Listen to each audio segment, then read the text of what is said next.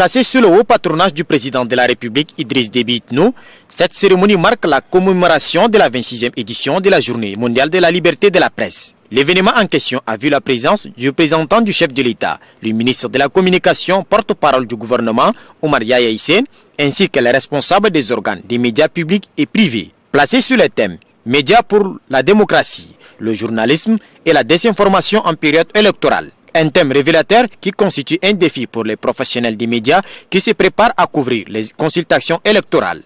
Autre, cette journée offre l'opportunité de jeter un regard sur le métier en tant qu'acteur, mais aussi rendre hommage aux journalistes qui ont perdu la vie dans l'exercice de leur métier.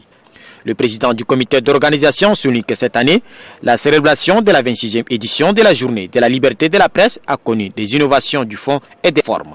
Le comité d'organisation, par ma voix et au nom de tous les journalistes, remercie le ministre de la Communication et en particulier le chef de l'État pour cet appui aux côtés des organisations professionnelles des médias et des journalistes. Selon le président de l'Union des journalistes italiens, ce thème a tout son sens au regard de sa pertinence aux questions relatives aux médias, à la transparence des processus politiques. Ce thème aborde les défis actuels auxquels sont confrontés les médias lors des élections ainsi que leur potentiel pour soutenir le processus de paix et de réconciliation. J'invite chacun de nous à un examen minutieux de conscience et à une relecture de la situation pour relever les défis.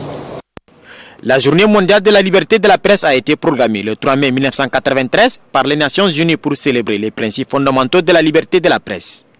Considérée comme quatrième pouvoir, la presse constitue le baromètre de la démocratie. À cet effet, le représentant du chef de l'État, le ministre de la Communication, porte-parole du gouvernement, Oumar Yaya Hissène, invite les hommes des médias au professionnalisme et au respect de l'éthique et de la déontologie. Le public tchadien a eu droit une semaine durant d'intenses activités de sensibilisation, d'échanges et de partage sur des thématiques diverses dans les différentes radios et télévisions, publiques et privées, en passant par les journaux de la place.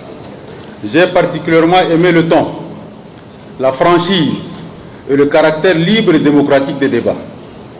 Je voudrais, sans exagération, dire que vous vous, vous êtes bien défoulé. Quoi de plus normal, puisque je ne vois pas une autre tribune ou une autre occasion aussi précieuse que celle-ci pour exprimer ses préoccupations les plus légitimes. Les questions de respect, d'éthique et de déontologie, le renforcement des capacités, l'aide à la presse et les lois qui encadrent l'exercice du métier sont entre autres les points forts de vos préoccupations et de vos réflexions.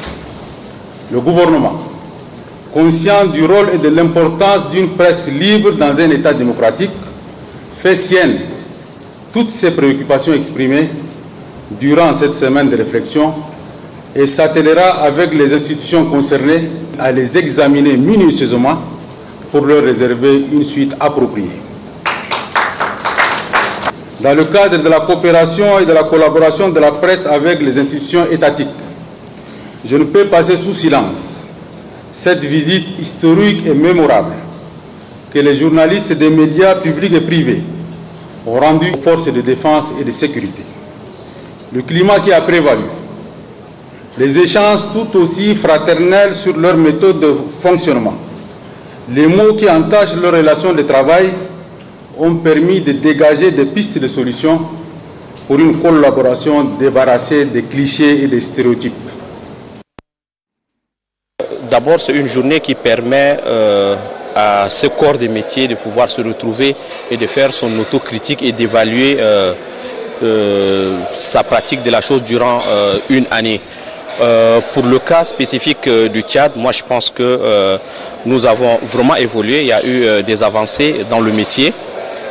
c'est aussi une première pour nous ici au Tchad de pouvoir durant toute une semaine nous retrouver et discuter autour de la pratique du métier à bâton rompu sans souci ni tabou. L'atmosphère qu'on a constatée pendant la semaine, et c'est une autre innovation, nous a donné l'occasion de nous expliquer et d'avoir une sorte de symbiose d'idées, même si chacun n'a pas la même idée que l'autre. Mais le fait qu'on ait discuté sur la problématique ou les problématiques de notre métier. C'est une journée que tout homme de presse doit aujourd'hui quand même faire un bilan de ce qu'il a fait et puis voir également euh, qu'est-ce qu'il doit faire.